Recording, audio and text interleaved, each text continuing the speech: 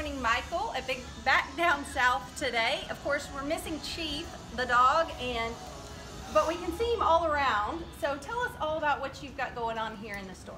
Um, we're a wholesale company, and this is kind of our warehouse slash storefront, and uh, we do our shipping out of here, and we sell our products, Sitka, some hunting products.